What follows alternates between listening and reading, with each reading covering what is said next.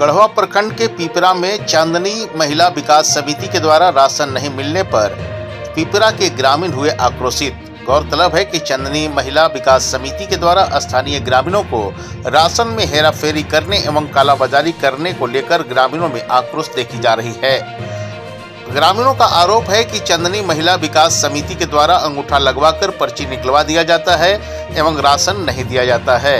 पिपरा पंचायत में कई ऐसे लोग हैं जिनका कई महीनों से राशन नहीं मिल पाया है।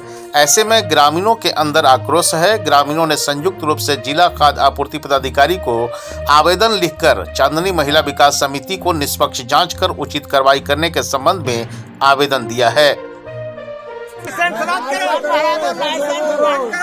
को नहीं रहना चाहिए चालीस महिला महिला